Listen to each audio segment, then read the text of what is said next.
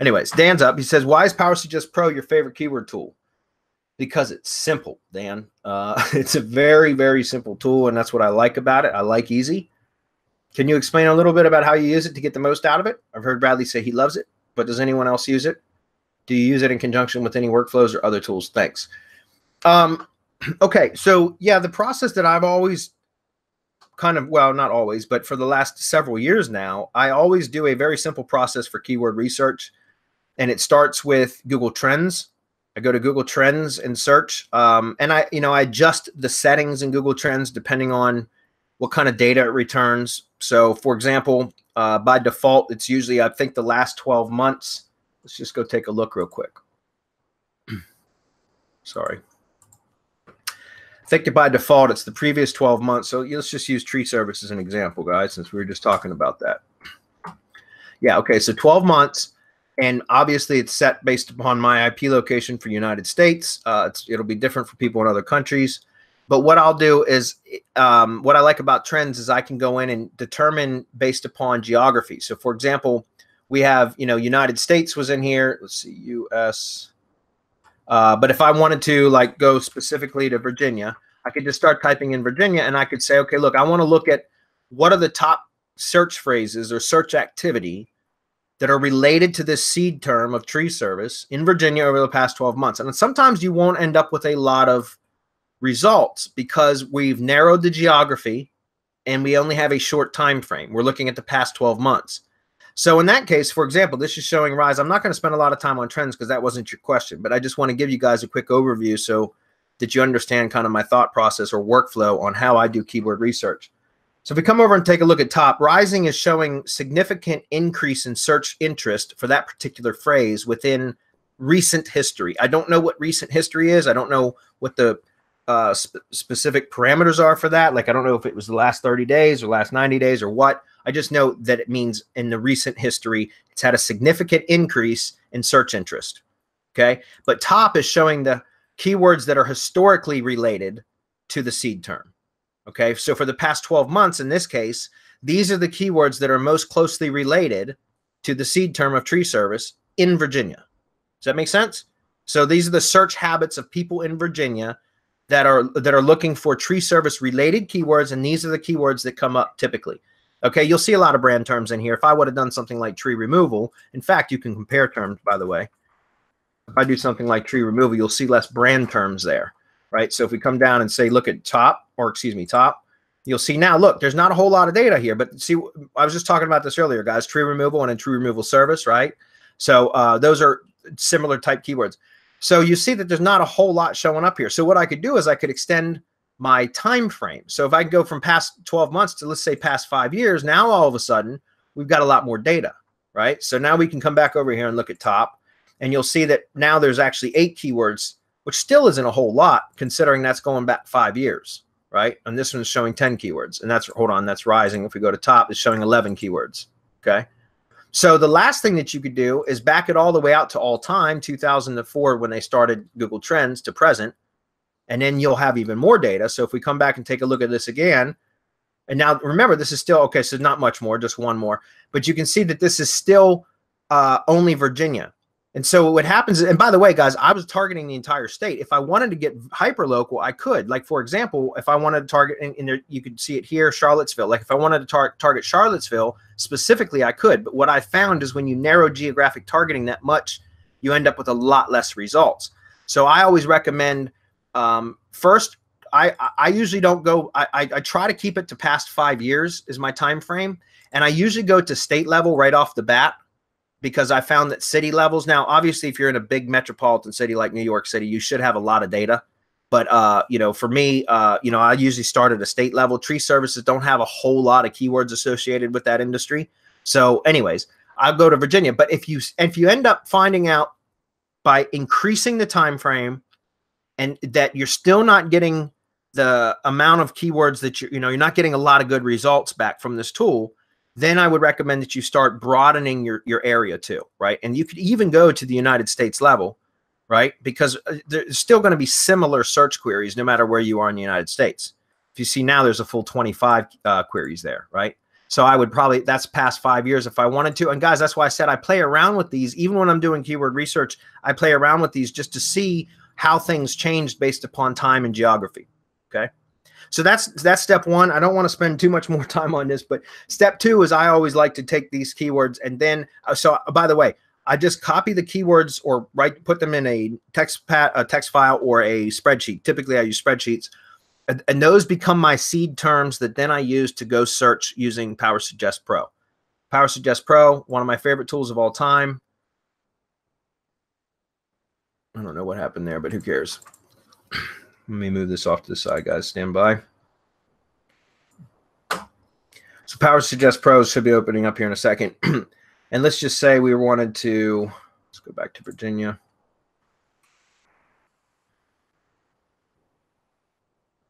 It's a good question, though. All right, so we'll just use tree removal service. So in this case, now this this type of a keyword is is because it's local. It's a local intent keyword. You're going to see that all it's going to return is um, a whole bunch of um, localized type search queries.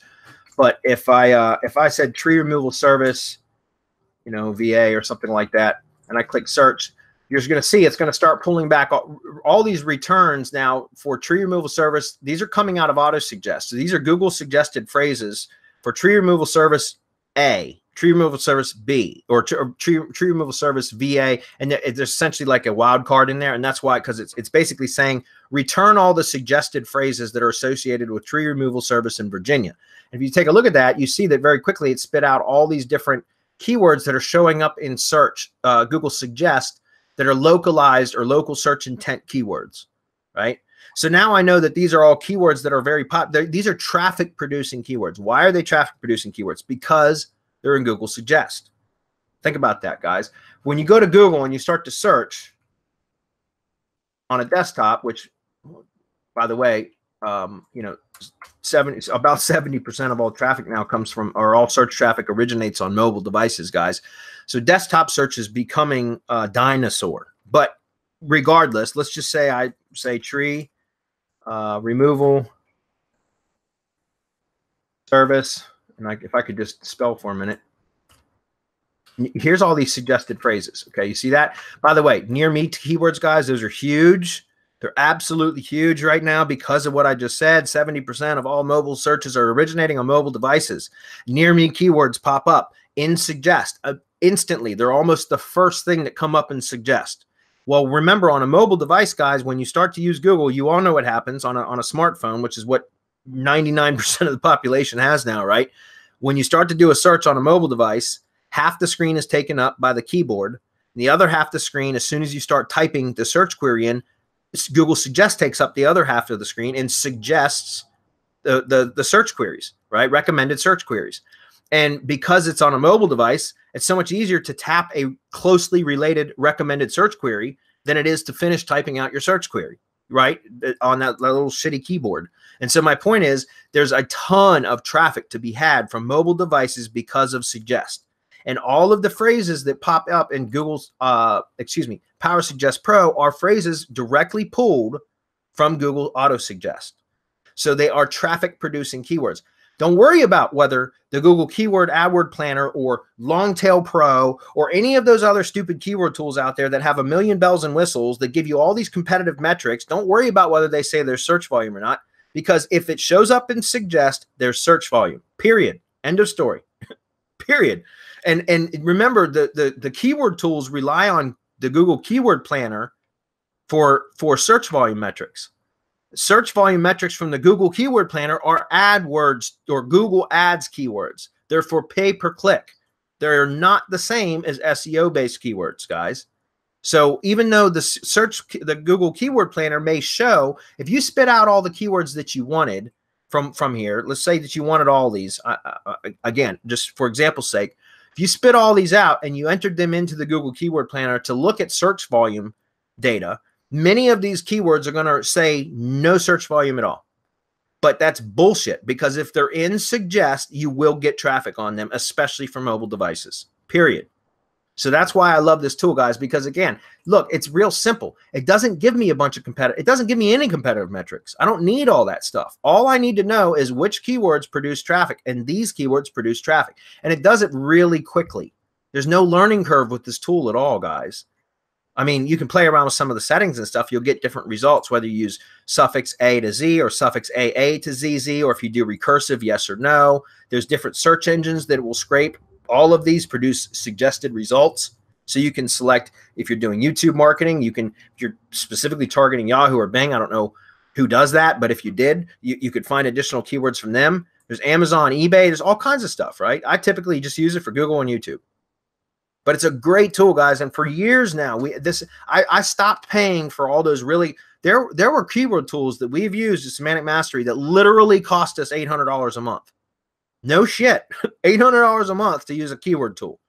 And I stopped using those tools for this one. This, I think, 50, I think it's $77 one time fee. I think we have a link somewhere that allows you to get it for $57 if you want to drop that on the page somewhere, Adam, or anybody.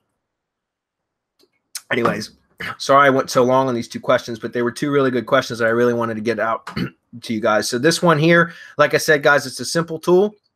I use all that. Finally, what I will do though, uh, just even though I mentioned the keyword planner is an AdWords tool, I do still like sometimes to try to determine if there are search volume uh, data for some of the keywords, even though I know there's traffic on them, whether the keyword planner or, says it or not. Why do I want to know? If because if there's search volume data in the keyword planner, it's likely that people are bidding on those keywords. So by taking my list that I accumulate or that I generate from from my my research from first using trends, second using Power Suggest Pro, then I can go enter my finalized list of keywords into the Google Keyword Planner and look at search volume data so that I can determine which keywords are like that people are bidding on uh, for for AdWords or, or Google Ads now uh, because now I know that those are the ones that are likely the most profitable keywords, right? Because if people are bidding on them, it must be money there. Uh, or else, if people aren't bidding on them, it's typically because there's not they don't produce any revenue. That makes sense. Okay. Also, you can find some additional keyword suggested ideas uh, through through the keyword planner after you've done this initial research. It's a great question. Too bad we're not giving shit away. Go ahead. What what I have for this is is that when you start broader, right, you can get just so many keyword ideas from Power Suggest Pro, but by, by digging into each category, if, if you want to consider it a category, you won't get categories, but you'll know if if you've done keyword research long enough, you'll know what's a category keyword, what and, and what's a supporting keyword. And so you can just dig and dig and dig. And what I've found is, is that you come up with just thousands of keyword ideas, and then from those you can cherry pick the the long tails, so that you can start ranking right away, and you can start produ- uh, uh, producing traffic to the website, and it's likely to become people who convert. I mean, it, it, it's really, really powerful to use that way. It's one of the ways that we use it in our keyword research. I mean, we, we dig down into whatever people give us as the niche and use Power Suggest Pro and then yeah. just keep digging and digging and digging and digging. Sometimes you end up with thousands and thousands of keywords, man. Yeah, and that's I, I, I want to. That's why I just started to demonstrate this as you were talking because, like, for example, I just put how to cut down a tree, right? Guys, I don't even have recursive on. Recursive means after it searches and it pulls back all of the results, it goes back and then searches each one of the results again, plus the suffix A to Z if you have suffix added. Uh, so it's like like what uh, Marco just said. Sometimes it this thing will spit out three thousand keywords. It's ridiculous. And the thing is, especially when you have recursive on, which I don't, because it, it could it could run for like you know several minutes if that's the case. Um, but when I have recursive on, you'll see like for example, how does a uh, like how much does it cost to just cut down a tree? How much does it cost to cut down a queen palm tree? Look how specific some of these search phrases are coming out, right? And now, if I have a tree service site and I'm in an area that has uh, palm trees, then it's likely that there's search queries. Remember, this this is a suggested search queries, guys. Uh, how much does it cost to cut down a queen palm tree? That means when somebody starts to type in queen palm tree or cut down a queen palm tree, in fact, let's just go take a look at it. We'll say cut down a queen palm tree, cutting down a queen queen uh, you know, cutting down a queen palm tree, all that you can see those type of keywords come up and suggest. And before somebody even finishes typing it out, they're going to say, "Oh, well, there you go, that's close enough." Right. And so that's what I'm saying. There's there's traffic on those keywords, and look at some of how long those are. And then if I have recursive on, some of them come back even longer. It's crazy. I have seen like full on sentences as search suggested search queries that have come back in here. And those are absolutely great topics, guys, or or uh, keywords, search queries, right? To, to target with blog posts or Q&A posts and things like that, because there's so few people targeting such long tail stuff like this. You can start to generate a lot of traffic over time by just building up. I mean, very, very simple stuff, guys. Like how much does it cost to cut down a queen palm tree? Put that question on a, on a blog post and answer it with a little bit of schema markup. And next thing you know, you end up in position zero or in one of these one of these areas right here, right? So, and you get a shit ton of traffic from that. Okay. So, anyways, it's a great tool, guys. I absolutely love it. As Marco said, like I, I I've learned over the uh, last couple years that I don't. I used to always just go straight to SEO stuff, and I would do a ton of keyword research, and I would generate literally thousands of keywords for a project before I would, and, and then I would just start doing SEO now I've really gotten to the point where I, I always start with Google Ads so that I can really pinpoint where the money keywords are, the lead generating keywords are. And then I start basing my SEO campaign, right? I, I develop my SEO campaign based around the keywords that I know produce traffic that converts because of AdWords or Google Ads, I should say now. And then I'll use this type of stuff now for content marketing to start building up the SEO presence and start generating traffic from the longer tail stuff that will trickle in little bits and pieces at a time. So you start to accumulate little traffic streams from these longer tail keywords. But the, the you know the bulk of your traffic is going to come from just a handful of keywords, and it always does. At least in local marketing, it does. The 80-20 principle absolutely applies. And if anybody, any of you guys do AdWords or Google Ads now, you know that to be 100% true. Sometimes it's 80 20, where 20, you know, 80% of your results come from 20% of your keywords. Sometimes it's 90 10, sometimes it's 95 5. And uh, again, if any of you, uh, you guys that are doing any Google ads, you know that to be true. And so, why spend a shit ton of time on a lot of long tail keywords when the bulk, eh, there's a reason to do that, right? Building up silo structure and all of that so that you can rank organically for the short tail keywords. You need to have the long tail keywords. But what I'm talking about is like, uh, initially starting off target you know getting your silo structure in place using the keywords that as the top of silo that you know produce traffic and results which is what you can determine with adwords rather quickly which is a couple you know a few hundred dollars in ad spend you can determine that. And then you can develop your seo campaign based around those results or that data right? And you can develop a much stronger seo campaign right off the bat. You can map it all out ahead of time. It'll make your job so much easier as an seo and by the way, if you want to learn how to really stack keywords and everything properly, SEO Bootcamp by Jeffrey Smith. Uh, by the way, he's going to be a guest speaker at POFU Live. So another reason to come join us.